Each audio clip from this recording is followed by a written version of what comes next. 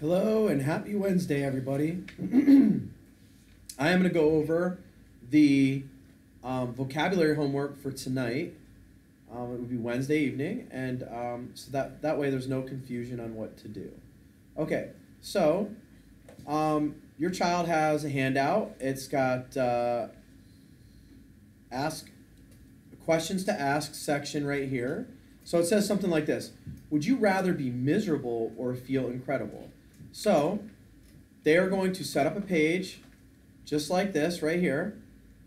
Um, it's going to be name and date. It's going to be in their vocabulary notebook under the In My Life section, which is the third tab. And they're going to answer those questions. They're going to restate. They would say something like, I would rather be incredible than miserable because being incredible is something to shoot for, and being miserable is something that I would want to avoid, right? So that's what they're gonna go do. So they have they have this section right here. Let me get to it. Right here. No, right here. It says, "Would you rather be miserable or incredible?" Or here about number two. Would you rather have an, an annoying neighbor or sibling? Why?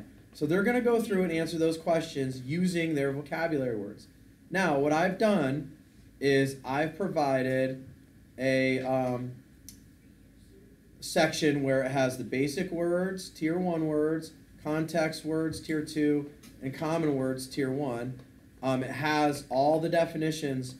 They'll be getting that sheet tonight. It's front and back. So on one side, you'll have the definitions, and on the other side, you'll have the questions that they're going to answer, and they're personal questions. There really is no right or wrong answer as long as they use, or if, if, if you're a kid watching this, there's no right or wrong answer as long as you use the vocabulary word in your response correctly.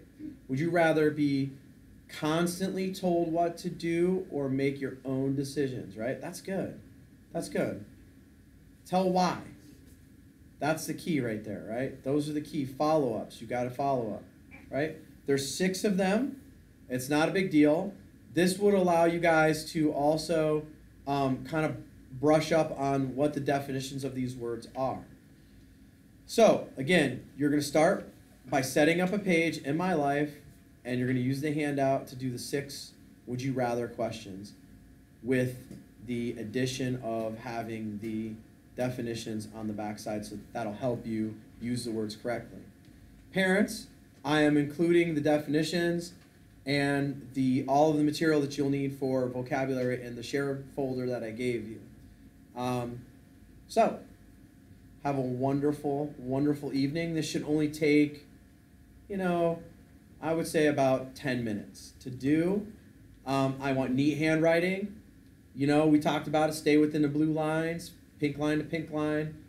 You know, be uh, write small and accurate. Uh, Todaro out.